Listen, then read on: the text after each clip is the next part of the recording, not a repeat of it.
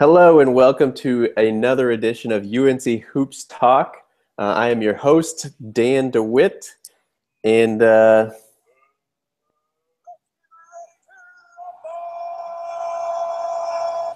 that's right. This is our recruiting podcast, and we got a very special, special uh, guest here.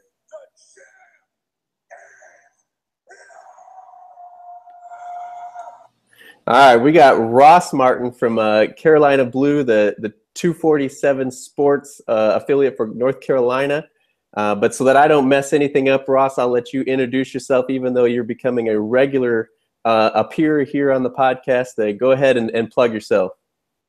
Yeah, what's going on, Dan? Um, my name is Ross Martin. Um, I'm the you know the writer for CarolinaBlue.com, which is the UNC site for 247sports.com. Follow me on Twitter at boss underscore Martin two four seven. That's B O S S underscore Martin two four seven. Um, I cover football, basketball, and recruiting for both sports. And I recently moved to Chapel Hill, so I'm on the ground here um, at UNC covering, um, you know, the the football and basketball beat, along with with doing a lot of recruiting, reporting, and interviews and things like that. All right, we're and we're happy to have you. Uh, I'm I'm always happy to talk to you. Got the pleasure to meet you at a game last year.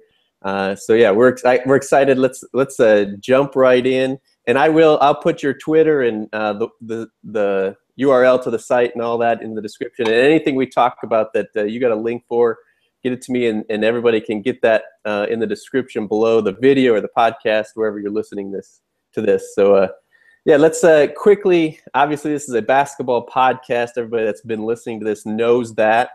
Um, but we're going to start uh, because football season is only week and a half away, two weeks away, something like that. Two weeks from today.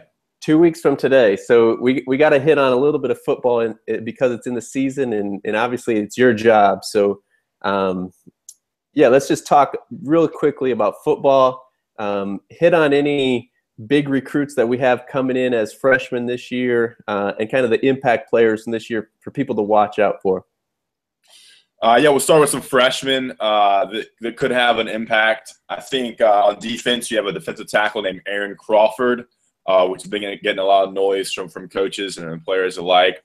Big, um, 6'1, 300 pound, 315 pound inside um, defensive tackle he should get some time on the defensive line. And then along with Jalen Dalton, who was kind of the, the jewel of the 2015 recruiting class, 6'6", 280 pound defensive end, may play inside some as well. Um, a guy from Winston-Salem area. Um, he could see some time as well. And then also on defense, you have safety J.K. Britt, a guy to watch out uh, as, a, as a and then secondary. And then also Mike Hughes, who I think is a name to watch out for this year, but more so in the future. Re- really athletic guy, going to be playing some cornerback, and then will also be, be returning punts. Um, and on offense, um, Tyson Williams is probably the main name to look for. He's a freshman. Um, I'm sorry. Side by side, forged from a on, little uh, commercial uh, there in the in the podcast. Yeah on um, on offense, you have a guy named Tyson Williams out of South Carolina, and he is a um, a big and quick running back. That's about it from the freshman. I think when you talk about this team, the 2015 team, some names that you may not know that are I think going to have an impact will be uh, Bug Howard at wide receiver. I think he's going to have a big season in his junior year. And then also Elijah Hood, the running back who got some play next year. I think will have a really big breakout season this year. Um, the defense is going to be better. Got Gene Chizik and a whole new coaching staff, and then um, and a lot of different players, but no real standouts on defense yet. So it's exciting. I'm excited. I think a lot of fans are excited about the new defense, the the potential for this year to be a lot better than last year, and hopefully get the ball rolling with this program. Yeah, and uh, again, I, am not well versed as as you are in football, but uh, obviously our offense gets a lot of the talk um, with the style that Fedora runs. But uh, you know, it, it, it has been a lot of the defense that's gotten headlines lately with Chizik coming in and saying he wants it all physical. And um, I mean, how much is that going to change the way we look this year as we did uh, compared to what we did last year? It's a whole different um, defensive scheme. They're running the four-three now instead of the four-two-five. So all the defensive players have had to learn a new, um, you know, a new role. And yeah, and also they've been stressing physicality. I think you're going to see a whole new defense. You bring in a whole new coaching staff. There's a lot of people graduated. You're going to have a whole different defense. I think it's going to be a lot different. Where that impact is felt this year, might be more felt next year once they're you know they have a good year and a half in the program. Um, definitely, there's gonna be some positive changes. I think there's only room to go up, so it will be better. Um, and I think you'll see some of that starting off this season. All right, and we mentioned uh, two weeks from today the opener. It's a pretty big one. Uh, South Carolina. Um, I don't know. Put you on the spot here, Russ. Are, can we can we beat or will we beat South Carolina? And where do you have us finishing uh, in our division?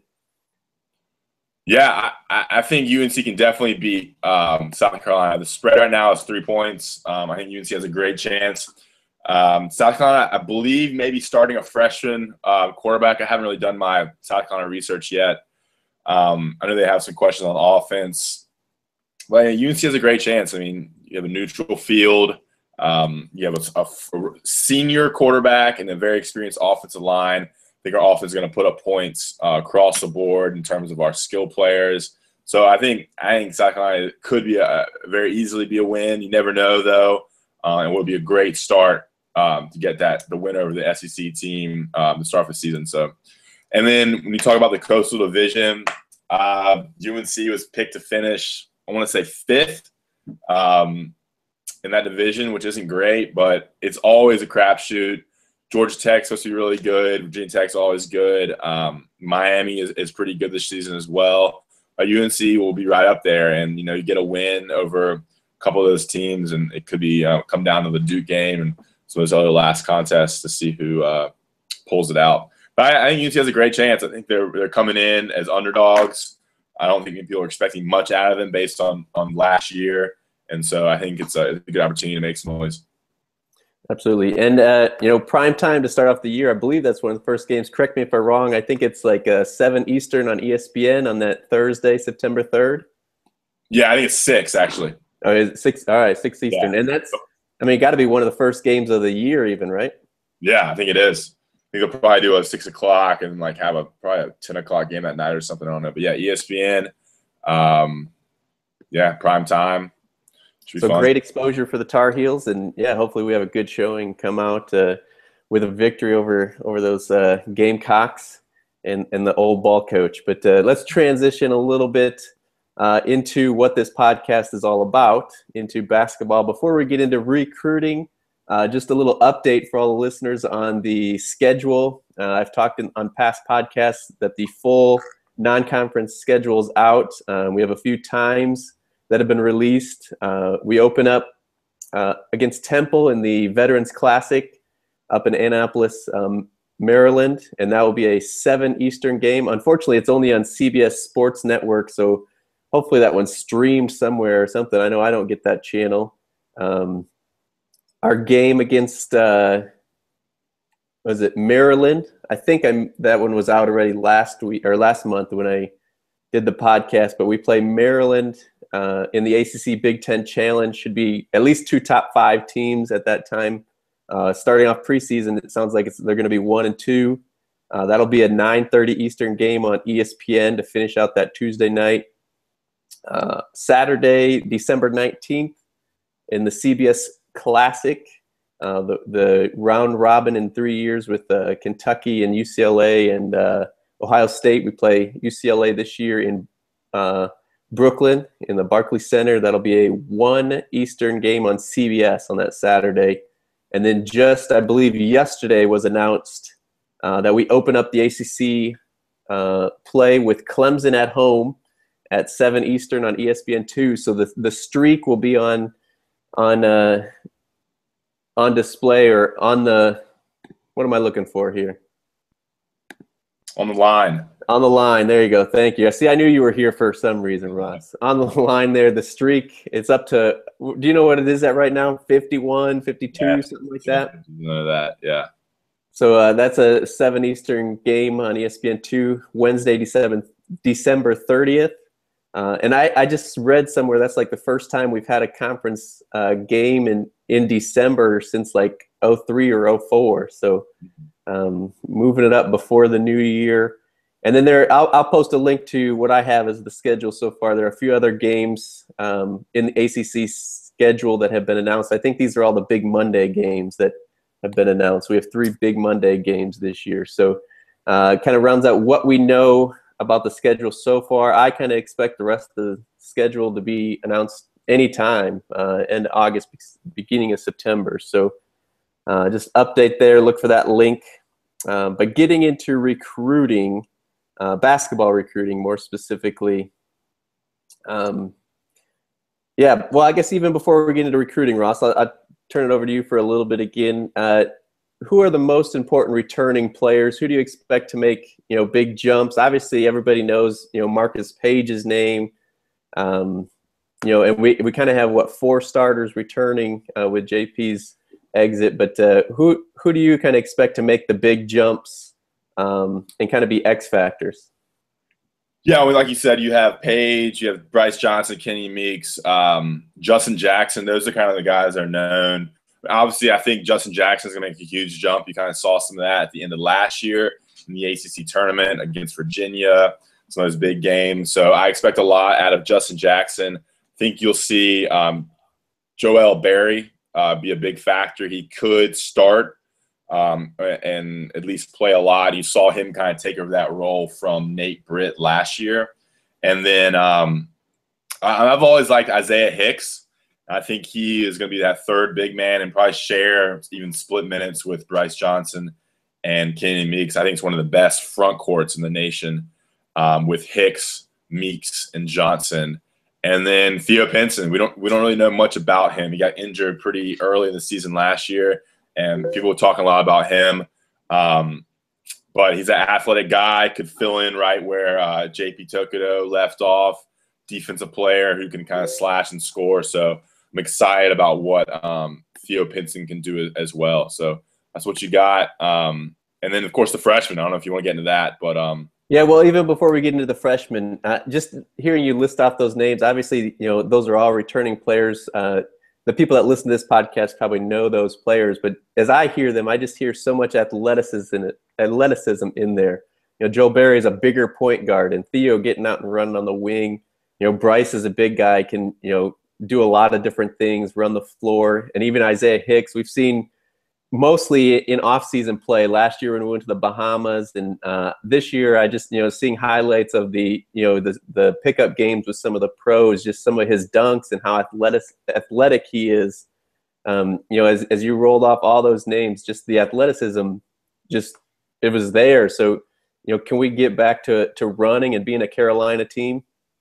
Yeah, I think with all those guards we have, that's particularly important. Um, yeah, like you said with Theo, and then you have Paige and and Britt and Berry who can really push the ball. Um, I don't think there's anyone that's really going to hold us back in terms of running with the ball. So, yeah, I mean, I think it'll be similar to last year. I mean, you lost Tokoto, who's probably the most athletic player, but um, you have guys who are more comfortable in the system. And um, yeah, watch out for Berry, Theo, and uh, you know the freshmen last year who are now sophomores making a big in- impact. Roy always talks about the biggest jump is from their freshman to sophomore year. So you've got to expect a lot of those guys one year in the system.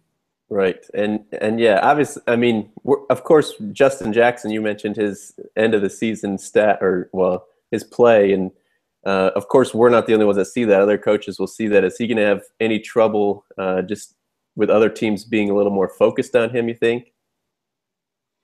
Yeah, but with UNC, they have so many weapons. I don't think they're going to be able to shy off anyone.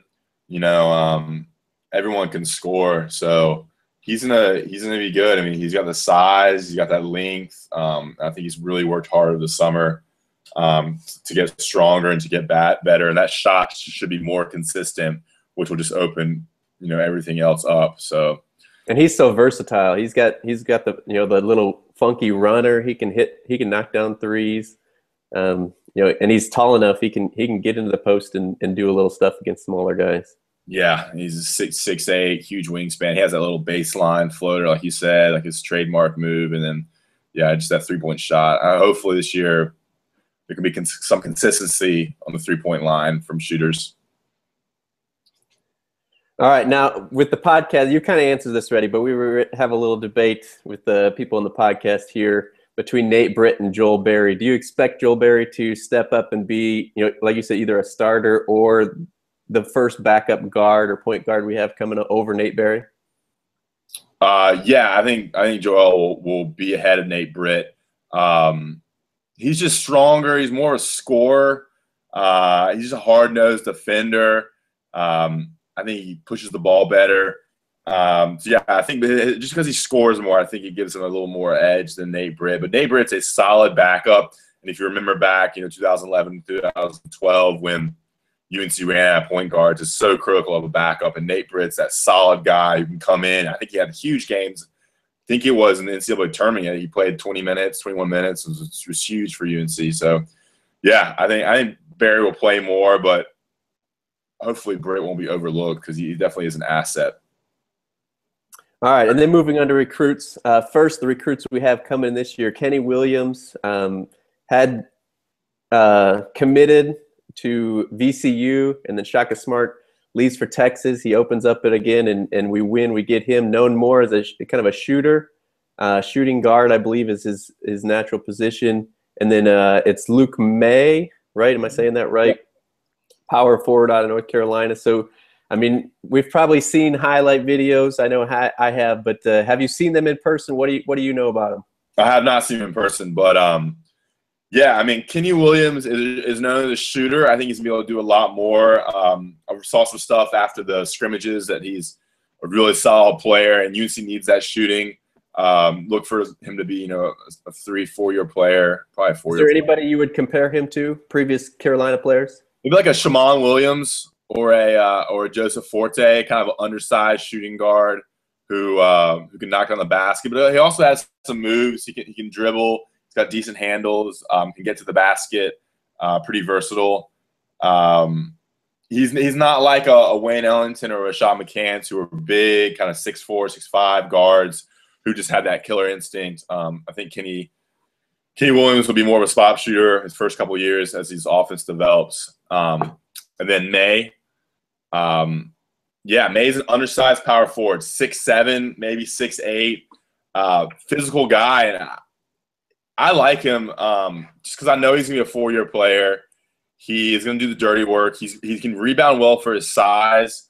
He's you know people would think he's gonna be like a Jackson Simmons. He's a lot better than Jackson Simmons. He can score. He can shoot from outside. In this EYBL league, which is like the Nike AAU circuit, he was he played really well. He dominated against you know top competition. He almost he was one of the top leaders in rebounding and scoring. So it's a guy who can who has kind of a, a knack for getting the ball in the basket. He can rebound. He can pass. Knows the game. Um, I think he's going to be a solid player for the next four years. Obviously, he has a ceiling as far as his athleticism. His size kind of limits what he can do. He's not your 6'10, 6'11 power forward who can jump out of the gym, but he's going to be solid. I think he knows his limits, and um, I think he'll he'll he'll play some this year, but look for him to be more of an impact player uh, moving on uh, sophomore, junior, senior year. Well, and like you said, we have such a not really full you know uh, front court, but you know with uh, established guys like Brice Johnson and.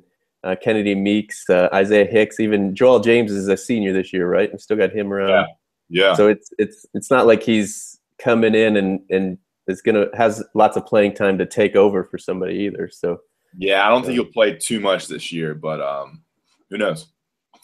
All right, so now let's let's move on to the future um, recruiting here. I feel like I'm taking crazy pills. Uh, we saw a streak in I think it was July, beginning of July, where it was about every day Roy was sending out a a new offer to somebody uh, what's what's the I, and I kind of titled this uh, podcast, you know, recruiting state of the program for UNC basketball. Um, but what's what's going on here? I don't I don't know if we've ever seen this uh, from UNC basketball. Yeah, this is this is odd. I've never seen it before. Um, UNC has they have 21 offers out right now, um, and they're not really gaining traction with anybody. And I've talked to some people close to the program, some some other guys in media that I interact with, and and UNC has doesn't have a 50% chance of landing anyone that they've offered so far. And that's pretty bleak. Usually they're leading or in the running for a bunch of guys. And, and this year it's, it's not like that. Um, then, and a lot of this is for various reasons. I know that's kind of what we can get into here with reasons why UNC basketball recruiting is is bad right now, and that's a combination of the NCAA issues looming, um, negative recruiting associated with that, and I, I, think just it's a it's a cycle. There's cycles of recruiting, and, and right now UNC is not hot. Um, I don't know if it's Roy's coaching style, where the program is heading, combination of NCAA stuff and negative recruiting, and you also have the emergence of just Duke and Kentucky and a couple other programs just kind of dominating it. Um, Duke's getting whatever player they want. Same with Kentucky, and that's really affecting UNC's ability um, to kind of pull in these big guys. Um, because usually UNC's right there with Duke and with Kentucky and with Calipari there in Lexington. It's kind of affected UNC um, last couple years in recruiting. So it's bleak right now. It's hard. It's it's hard to find any silver lining but uh, we can go through some of the players here if you'd like. But uh, um, yeah, I wish I had more positive news to report on, on the basketball recruiting field. But right now, it's I don't even know who UNC is going to get. They have they need to get some people because they're going to lose Paige, they're going to lose Johnson, and Joel James. So they'll at least have three scholarships. They could probably sign four or five more because I know they have some walk-ons who are on scholar walk-ons who just got scholarships who will be graduating as well. Right. And yeah, there's plenty to talk there with the in, in investigation and, and uh, all the recruits going out or offers going out anyway. But first, is there anybody we have committed? No. All right, not for next year. Now I know, uh, and this is even looking farther ahead. I'm kind of jumping around, but uh, um, Jalek Felton uh, has is the 2017 class, but he is committed as of right now, right? Yeah, he said something like he's 95% committed. He wants to hear how the NCAA stuff shakes out. But by the time he, you know, needs to sign his letter of intent, hopefully the NCAA stuff will be gone.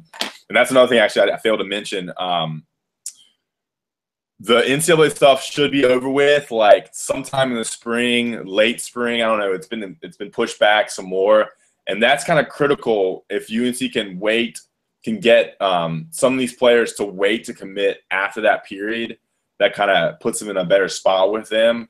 So all these guys who are committing early, it's it's not good for Carolina. But if they can get some guys to wait until, you know, March, April, May, that time to commit, they'll have a better shot landing them because it's going to be clear as to the NCAA issues. But yeah, Jalek Felton, 2017 guy, awesome player, awesome recruit. He is he is committed to UNC right now. All right, and update for listeners. I know I've heard you talk about it, but there has been uh, updates to the investigation. You know, I've said on the podcast we got the notice of allegation. We had 90 days to respond. Kind of right before that 90 days was up, week or North Carolina comes out and adds a couple violations. One for its men's soccer, and uh, was the other one women's basketball again? Yep.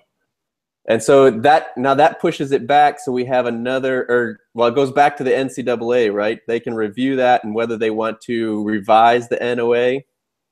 Yeah, right? yeah, exactly. And so what if they do that? We get another 90 days, correct? Yes. So it just pushes everything back. So it pushes back. back. So and there's been a lot of flack of, of North Carolina throwing people, especially women's basketball, under the bus. Um, but I mean, I don't know if anybody really looks at it, especially uh, unbiasedly. Of course, if you don't like North Carolina, you're going to say, "Oh, they're just stalling. They're trying to save men's basketball and all that stuff." And and if uh, you're a North Carolina um, diehard, you're going to say, you know, "Oh, they're trying to get it right. They're you know doing all the right steps." Obviously, you can go either way. But if you look at it, I mean, it's just the smart move, right? To to kind of push this back, especially coming in as one of the top two teams in men's basketball this year. Uh, that nothing can be decided on this season as far as uh, the NCAA banning us from postseason play or anything like that. Yeah, I mean it's it's bad for recruiting pushing it back. You want this to be over as soon as possible. Um, so I mean, I think pushing it back, I think actually hurts UNC more than anything. I mean, they want this stuff over for football recruiting and for basketball recruiting. Um, I don't think it was going to have an impact on this season in terms of the UNC team, but it's all about recruiting. And the longer this NCAA stuff looms, the longer teams can negatively recruit against UNC, and it's just it's bad all way around. Well, no one ever knows how long the NCAA is going to take to actually, you know, even if they don't revise the the notice of allegation, that you never know how long they're going to take to decide punishment, right? Yeah, and they've had enough time to do this, but we'll see. I hate talking about it. It's just like it's just so. It's just you never know what's going to happen. It's been it's been happening for five years. So I'm just like kind of sick of it. It's just right. whatever when it's almost more bleak than our you know eight and twenty season because you don't know how long it's going to take to turn it around. With you know with the whole Doherty um, stint in there after after Guthridge and and all that, you know we had a well two really bad years.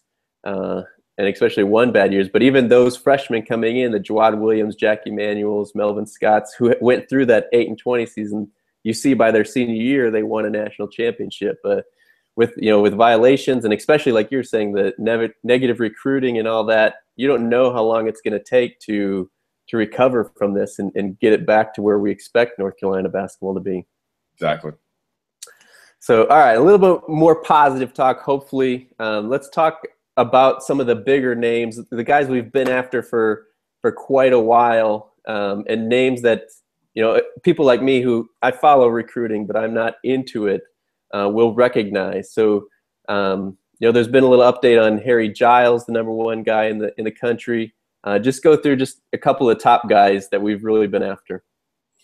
Um, yeah, so I mean, yeah, let's start with Giles. Harry Giles. He scheduled his uh, five official visits, which included um, UNC. I think he's going to Wake Forest, UNC. Um, and that's September 25th. He'll be there, right? I believe so. I'm going to his yeah. profile right now. Um, yeah, he's got Wake Forest on the 18th of September, UNC September 25th, Kansas October 9th, um, Kentucky October 16th, and Duke October 30th. So Duke has the last official, and I can see him announcing, you know, after that last official. So sometime in late October, um, early November is when it should happen. Uh, I, I, think this guy's gonna go to Kentucky. He's the, we have sorry, sorry. I think he's gonna go to Duke we have him as the number one player in the nation with a 24 7 sports composite. Uh, he's an in state guy from the Triangle, um, High Point, Winston-Salem area, and he's he just transferred to, uh, I think, Oak Hill. That right? Yeah, yeah. I was just going to say that. Uh, I hadn't said that before, but he is transferring, yeah, to Oak Hill Academy. Um, now, with that, and I think I also saw that his Kentucky visit will be their like uh, Midnight Madness or whatever, their Big Blue uh, Madness or whatever. Yeah that date does look like look like it will coincide with that. And so now him transferring, him transferring, and going to that Midnight Madness. Does that, does that? I mean, you already said you think he's going to Duke, but does that? Uh, I mean, obviously, it hurts us to have him go out of the state. Does it affect, lean him towards Kentucky any more than Duke? I don't think so. I think I think he's going to Duke. Um, I think it's already done deal. Um, so he's going to. Wait, I'm trying to see when his UNC visit yeah, he'll be there for a UNC football home game, so that's good. Okay. Yeah. but yeah, I mean, this is a guy that UNC would would would get would have a great shot of getting if it wasn't for like this just negative cloud surrounding UNC. So, um, but let's look back at some other guys. You have Dennis Smith Jr., which is actually my favorite player in the class. He's like a talented, real athletic point guard. He's kind of leaning towards um, NC State, I believe. Uh, there's some shoe issues there. Uh, but he could go to Duke as well. Great point guard from Fayetteville. Um, Jayson Tatum was a guy who offered. He committed to Duke. Kind of just going through the list here. Well, an update on Denny, Dennis Smith um, just tore his ACL. Uh, is out. He's probably going to miss most, if not all, of his senior season. Then, right? Yeah, yeah. I remember seeing that. Um, that's a shame, but he's he's so good If you watch, I mean, he, his dunk highlights are unbelievable. Um, he's just so athletic. He reminds me, I don't, he just like, he's really, he's small, but he can just get up and dunk. Um, continuing on, you have uh, Bam Adebayo out of Eastern North Carolina. UNC was a pretty good for him, and then he just kind of blew up, and he's got some more offers. He picked a Kentucky offer. He's also the kind of NC State lean as well, um, which is which is bad for Carolina fans if, if they can land – the Wolfpack can land Adebayo and Smith. I like him a lot too. Real physical, big power forward, real athletic. Um, Seventh Woods is a guy that UNC has some traction with. He's kind of down to um, South Carolina, North Carolina for Seventh Woods. Pretty athletic um, combo guard. His name kind of blew up early off of some highlights. And since then, his stock has kind of come down a little bit. But I think at this point, it's definitely a guy UNC wants, UNC would take. Um, Sacha Killeya-Jones is a, is a Chapel Hill native, goes to school in Virginia. He just committed to Kentucky yesterday. He's the guy UNC offered a, a little ways back. Um, see any other big names that were kind of older. Malik Monk, really athletic guard out of Arkansas. I don't think UNC has any traction with him. He's probably gonna go to either Arkansas or Kentucky. Uh, one of the top players in the class. And then um, Tony Bradley is a guy UNC offered uh, a little while back out of Florida, 6'10, 235 pounds. There's thought that UNC has the best chance landing him. He's a, he's a really good player. A, we have him as a four star uh, power forward. But I talked with him, um, and he told me he's waiting for other offers. He he's waiting for maybe some bigger schools to enter in, which is kind of a shame for UNC fans. But um, he could be one of the uh, UNC commit, but right now it seems like he's he's looking around more and waiting around for some some bigger fish to enter the fray. So it's kind of where it stands right now. I mean, there's tons of other names we can go through. I don't know if you want me to list them off, but those are kind of some of the bigger names and where they stand right now. Well, and and again, I'll link to your uh, the the offers page here on your website. Another plug for CarolinaBlue.com uh, of 247 Sports. Uh, but I'm just looking through here as well, and uh, the combo guard Brandon Robinson says we're you know warmer uh, up there. Is there any? I mean, what makes him warmer or more yeah. of a chance there than than any of these other guys? Yeah, I think I think he's a, another guy. He has a good shot with. He doesn't have as many big time offers. Um, you look at his offer list: Maryland, Georgia Tech, North Carolina, Louisville, Florida State, um, you know, Stanford, Florida, Miami, schools like that. Yeah, and he's been to North Carolina on a visit. I know that. Um, he's more of one of those recent offers. UNC offered him in uh, early August. So I, I could see I could see him committing at some point, but other schools like I know Louisville's on him pretty hard. He has a lot of choices. So, you know, if this um, you know, if UNC can't get in the momentum, I don't see a reason why a guy like him would would want to come here. But UNC does need someone to kind of hop on board to kind of get this train going and I don't know too much about Robinson as a player. 6'5, 160, kind of a slight shooting guard. We have him as a number 69 overall player, uh, number 10 shooting guard. So, yeah, he, he's definitely a possibility. And um, he's warmer on our site just because I think he's shown some interest and um, probably mentioned UNC in a couple articles and things like that.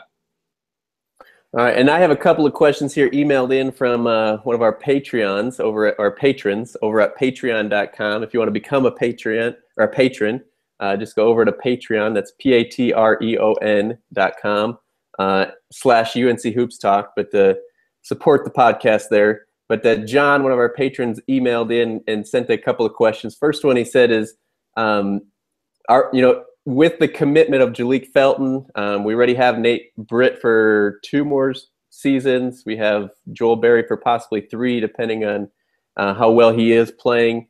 Uh, and then the commitment of Jalek Felton. Are we going to have a big time logjam, or does it hurt our chances with these guys next year, like Dennis Smith, um, Seventh Woods as a, as a combo guard? Uh, I think there's even two more point guards listed up on your site. You know, is there is there going to be a logjam if we commit one of those guys? Does it affect Felton? You know, his commitment joining UNC the next year. Kind of what what's the point guard situation there? Yeah, I, I think Roy definitely wants to get a point guard in the 2016 class. Um, and I, it's clear that he's willing to play two at a time. He's good at UNC's good at kind of sharing playing time in terms of point guards, and it's very important they get a get a couple in per or get at least one in per class or you know every other class um, because he doesn't want to have a situation where he doesn't have a point guard. So I don't think that affects it. I think if any one of these top guys commits, they know um, they're good enough to play. We didn't take a point guard in um, in the 2015 class, so there's a little gap there. So they definitely want one in 2016. And um, And then 2017, they have Jalek Felton. Jalek Felton's kind of a combo guard too, so he can play off the ball and be more of a scorer as well as handle the ball. So I don't think there's really a, a logjam issue um, with that. All right. And before we get off Felton, there was at least over social media, he kind of debunked it, but there was a lot of talk of I don't even know what it was. He took down UNC stuff off his Instagram and, and said he was recruitment was open again. He was talking to other schools and all that. And again, he debunked it, said, um, you know, they were talking to him. He wasn't talking to anybody else. But uh, do we need to be worried about him? Uh, unless something, you know, big comes down against North Carolina, we have to be worried about everybody. But, uh, you know, do we need to be worried about him decommitting or anything before he gets to school? Yeah, I mean, a lot of it depends on the NCAA stuff, but I don't think so. I think um, just the fact that he's, you know, his uncle is Raymond Felton and UNC's been on since the beginning is a good sign. Um, yeah, I look at his Twitter right now. It says he's a UNC verbal commit. There's a lot of time between now and then, so as long as NCAA stuff gets resolved, they can bring in a couple guys from 2006, 2016. I think UNC would be good to go with him. And it's big to get him on early. Right. All right, and then John emailed in a, another question. This one about big men um, and all, all, the big men, you know, power forward centers offered for next year. Is there? There's kind of three parts here. Is there anyone that we have a better chance of getting? Uh, is there one that fits Roy's better than the others? And uh, is there any that remind you of former Tar Heel players?